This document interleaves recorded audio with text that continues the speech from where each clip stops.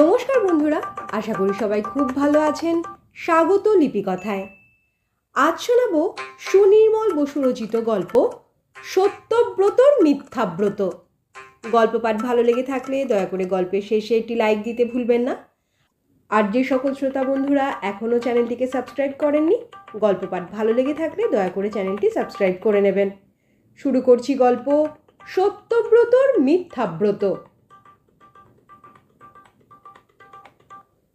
সত্যব্রতর একটা প্রধান গুণ ছিল, সে কখনো সত্য কথা বলতো না।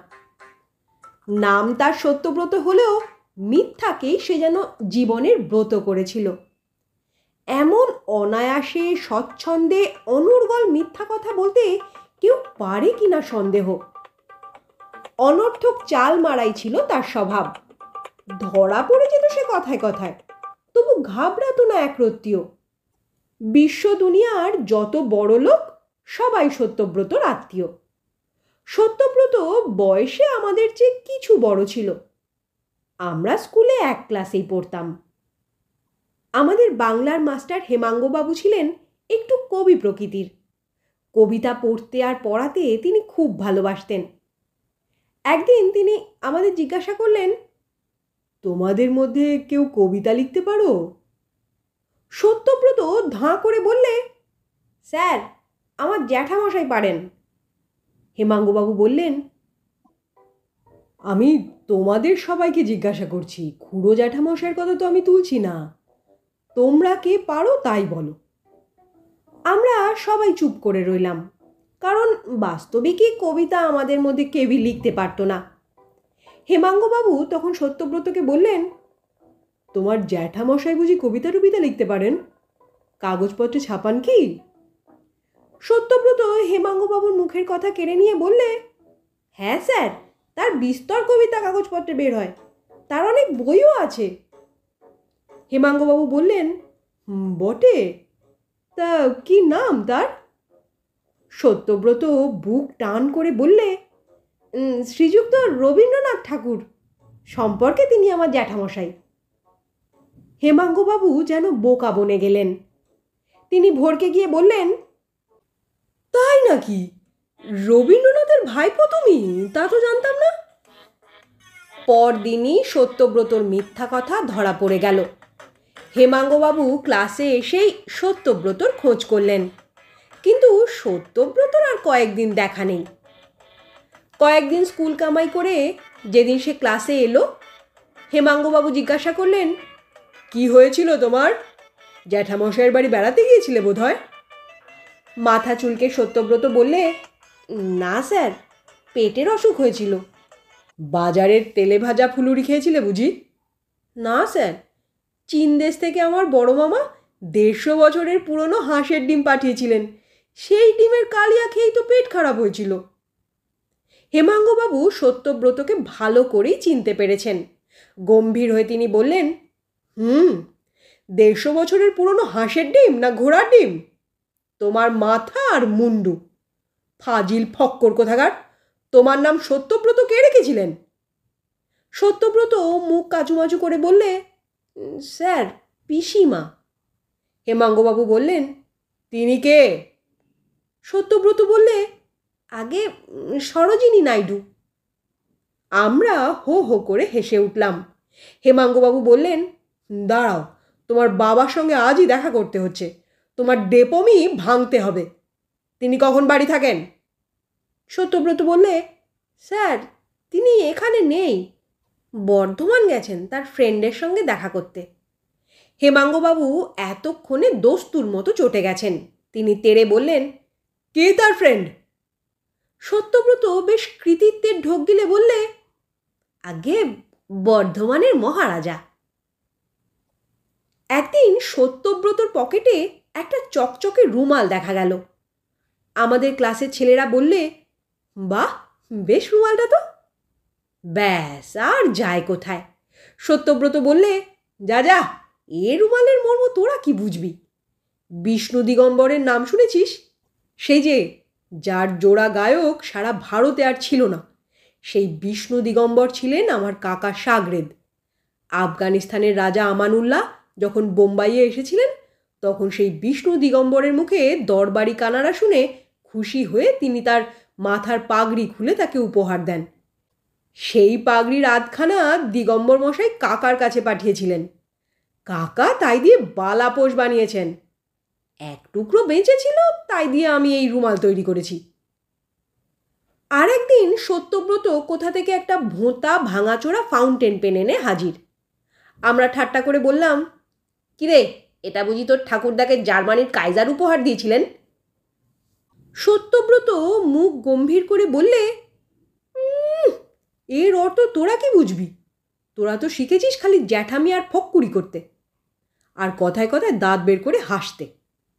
এই ফাউন্টেন পেন দিয়ে বিদ্যাসাগর মশাই আখ্যান মঞ্জুরি লিখেছিলেন। তারপর তার কাছ থেকে পান মাইকেল মধুসূদন দত্ত। মেঘনাথ বধ কাব্য লিখতে লিখতে এই কলমটি চুরি যায়। আমার ঠাকুরদা পুলিশে বড় কাজ করতেন। তিনি চোরাবাজার থেকে এটিকে যখন উদ্ধার করলেন, তখন বিদ্যাসাগর মশায়ও নেই, মাইকেলেরও মৃত্যু হয়েছে। কাজেই সেই থেকে ওটা আমাদের বাড়িতেই আছে। সত্যব্রতর এই মিথ্যা গল্পগুলি শুনতে আমাদের বেশ মজাই লাগতো। সত্যব্রত কি না জানে, ঘোড়ায় চড়তে তার মতো ওস্তাদ নাকি দুটি নেই। সে নাকি মাছের চেয়েও বেশি ভালো সাঁতার জানে। চোখ বুজে দেড়শো মাইল স্পিডে সে যে কোনো মোটর, যে কোনো রাস্তায় চালাতে পারে। তার মোটর চালানো কি ঘোড়ায় চড়া আমরা পরীক্ষা করবার সুযোগ পাইনি। তবে স্কুলের পুকুরে তার সাঁতার কাটবার কেরামতি আমরা নিজের চোখে দেখেছি। প্রথমে সে তো কিছুতেই জলে নামবে না। এ ভারী বিদঘুটে এঁদো পুকুর, এতে নামাও যা আর একটা ডোবার জলে ডিগবাজি খাওয়াও তা। তোদের যা টেস্ট থাকতো আমার মামাবাড়ির পুকুর, তবে দেখতি সাঁতার কাকে বলে। কিন্তু জনার্দন তা মানবে কেন? সে মারলে পেছন দিক থেকে এক পেল্লাই ধাক্কা। ঠিকরিয়ে গিয়ে সত্যব্রত পড়ল পুকুরের গভীর জলে। আর তার দেখা নেই। আমরা ভাবছি সত্যব্রত বুঝি ডুব সাঁতারে একেবারে ওপারে গিয়ে উঠবে। কিন্তু সত্যব্রত কই? আমাদের মুখ শুকিয়ে আমসি হয়ে গেল। আমরা সবাই অল্প বিস্তর সাঁতার জানতাম। সকলে মিলে পুকুরের তল থেকে যখন সত্যব্রতকে তুললাম, তখন সে খাবি খাচ্ছে। তিন চার দিন পরে সত্যব্রত ক্লাসে আসতেই জনার্দন টিটকিরি দিয়ে বললে, জলের মাছের খবর কি? সত্যব্রত বললে, যত সব তালকানা আনারি নতুন একটা ভালো কায়দা দেখাবার মতলব করেছিলাম, হতভাগারা সব প্ল্যান মাটি করে দিল। আমরা সবাই মুখ টিপে হাসতে লাগলাম। জনার্দন বললে, ভাগ্যিস প্ল্যানটা মাটি করে দিয়েছিলাম। অনেক দিন পর সেদিন বউবাজারের মোড়ে সত্যব্রতর সঙ্গে দেখা। দাঁড়িয়ে দাঁড়িয়ে সে চিনে বাদাম খাচ্ছিল। চেহারার কিছু পরিবর্তন দেখলাম। সত্যব্রত বেশ একটু বাবু ধরনের লোক ছিল। এবার দেখলাম তার মাথার চুল ছোট ছোট করে কাটা। গায়েও খুব সাধারণ জামা কাপড় জিজ্ঞাসা করলাম, কী হে সত্যব্রত খবর কি? কোথায় ছিলে এতদিন? রোগা হয়ে গেছো যে? চিনে বাদাম চিবুতে চিবুতে সত্যব্রত বললে, হুম, মেসমশাইয়ের আশ্রমে কিছুদিন কাটিয়ে এলাম। মেসমশাইয়ের আশ্রম? সে আবার কোথায়? মেসমশাই বুঝি সাধু টাধু কেউ হবেন? গম্ভীরভাবে সত্যব্রত বললে, না সবরমতী আশ্রম। বললাম, সেখানে বুঝি তোমার মেশো থাকেন? তা নাম কি তার? সে আরও গম্ভীর হয়ে বেশ অহংকারের সঙ্গেই বললে, মহাত্মা গান্ধী। সোডার বোতল খুললে যেরকম ভস করে সশব্দে গ্যাস বেরিয়ে পড়ে, আমার হাসিও তেমনি বুক ঠেলে বেরিয়ে আসতে চাইছে। অনেক কষ্টে তা চেপে বললাম, তুমি বাঙালি মহাত্মা গান্ধী তোমার মেসমশাই হলেন কি করে? সত্যব্রত বললে মহাত্মাজির স্ত্রী আমার মায়ের মামাতো বোন।